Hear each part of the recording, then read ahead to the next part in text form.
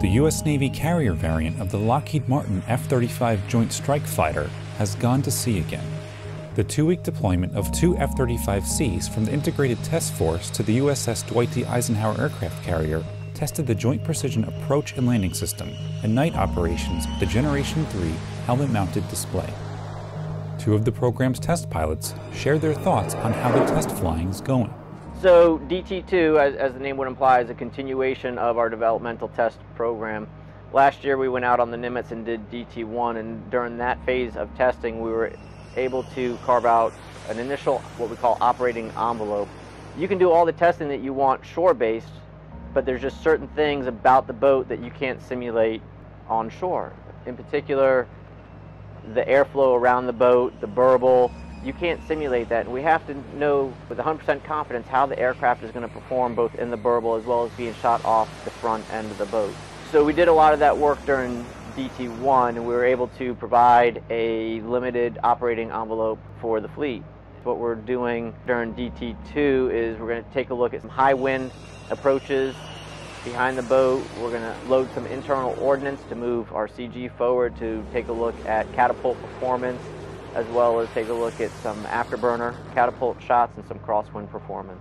One of the biggest things that makes the F-35 so nice to land aboard the aircraft carrier are the flight controls. We have integrated direct lift control.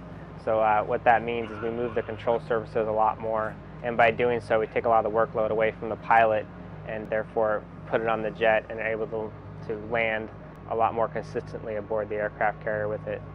One of the most important innovations found in the F-35 is the helmet that the pilot wears.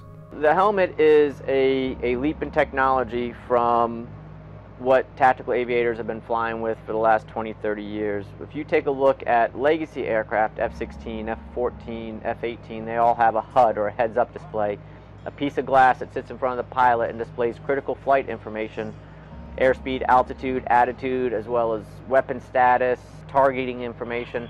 So the pilot garners a lot of information off this heads-up display. And it's very important, especially for a tactical aviator. If you take a step back, back in Vietnam, it wasn't the, the threat that you saw that got the pilots killed. It was the threat they didn't see.